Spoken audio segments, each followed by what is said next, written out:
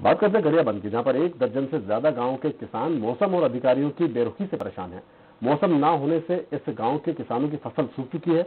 यही नहीं, नहर सुविधा होने के बावजूद भी सिंचाई विभाग ने अब तक इन गाँवों के किसानों को बाँध से पानी उपलब्ध नहीं कराया है।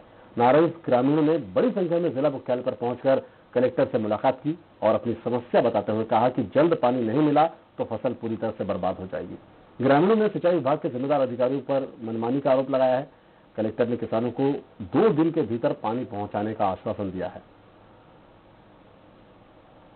जाने तो फ़सल हाँ पूरा सूखा थे मरे की स्थिति में है दियार काटा थे पीलापन हो गए है ब्यासी और रोपाई के काम भी आज तक से पूरा नहीं हो पाया है।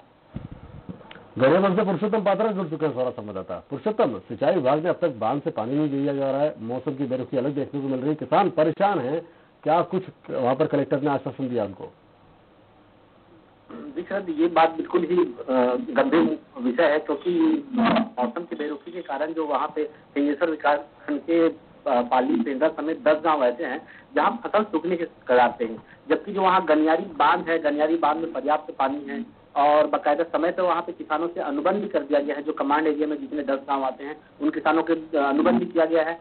समय पे उनको जो डिमांड जो है पानी का डिमांड भी उन्होंने कर दिया था और इसको लेके पिछले पंद्रह से बीस दिन में लगातार राजीव एसडीएम से भी ये लगातार मुलाकात कर रहे थे। लेकिन वहाँ भी जब कोई रास्ता नहीं निकला तो करीब डेढ़ सौ से दो सौ जो किसान हैं सबसे पहले तो सिंचाई विभाग के ई के पास पहुँचे लेकिन ई उनसे मिलना मुनासिब नहीं समझे तब वो किसान जो है सीधा कलेक्ट्रेट में रुक दिया और कलेक्टर ने उनको दो दिन का आश्वासन दिया है और समय ही बताया गया कि उनको दो दिन के अंदर वो पानी मिल पाता है।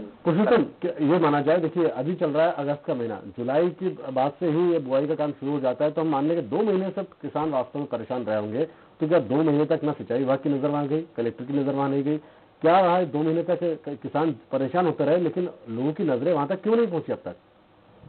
जी बिल्कुल इस पूरा मामला जो है प्रशासनिक उपेक्षा का कहा जा सकता है, क्योंकि एक सिस्टम बना होता है, जल प्रदाय समिति होती है।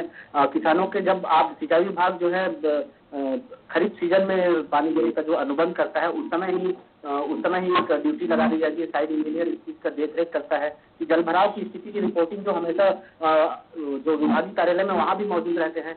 जब पानी की समस्या होती है तो किसानों का जो समूह है वहाँ पे स्थानीय अधिकारियों से सिंचाई विभाग के अफसरों से पानी का बकायदा लिखित में डिमांड भी पेश पेश किया जो देना होता है। तो जो किसान जो है पूरी प्रक्रिया का पालन करते रहे अधिकारी के ऊपर अधिकारी बदलते रहे उसके बाद जब सिंचाई विभाग से वहाँ स्थानीय स्तर पे नहीं हुआ तो एसडीएम के पास भी उन्होंने गुहार लगाया। लेकिन एसडीएम से उनको किसी प्रकार का जब राहत नहीं मिला तो ये जो है मैं एक चीज़ और जानना चाहूँगा छोटी सी जिस तरह फ़सलों की बात की जाए और यही उनकी रोजी रोटी और इस पर वो निर्भर है। ऐसे में उनका ये भी कहना है कि फ़सल पूरी तरह चौपट हो रही है, बर्बाद हो रही है। यदि समय पर पानी नहीं मिला तो वो कहीं के नहीं रहेंगे। तो क्या लगता है कि विभाग की हम बात करें या कलेक्टर की बात करें, आश्वासन भले दे दिया हो, यदि उनको पानी मुहैया नहीं होता है तो आखिरकार वो कहाँ जाएँगे? क्या उनको मुआवजा मिलेगा? जी देखिए जैसे जब पानी जिस समय ज़रूरत पड़ती है बियासी के बाद पानी की ज़रूरत पड़ती है पौधा 10 से 12 इंच जब हो जाता है जब ग्रोथ देने लगता है उस समय पानी की बहुत आवश्यकता होती है। और क्योंकि उस समय बियासी के समय खाद डाल दिया जाता है और पानी जब पर्याप्त मात्रा में नहीं पहुँचता है तो पौधे नष्ट होने लगते हैं विभिन्न प्रकार की बीमारियाँ वहाँ पे होने लगती है। तो जब हमने किसानों से बात किया तो वहाँ लगभग तीस से चालीस हेक्टेयर ऐसे हैं जो बीमारी की चपेट में भी आ गए हैं। लेकिन इसे प्राकृतिक आपदा में नहीं आएगा यह कहकर प्रशासन उन्हें किसी प्रकार की यानी कि देखने वाली बात होगी कि आखिरकार प्रशासन इन किसानों के भलाई के लिए क्या कुछ एक्शन लेता है। बहरहाल बहुत धन्यवाद पुरुषोत्तम इस जानकारी को साझा करने के लिए।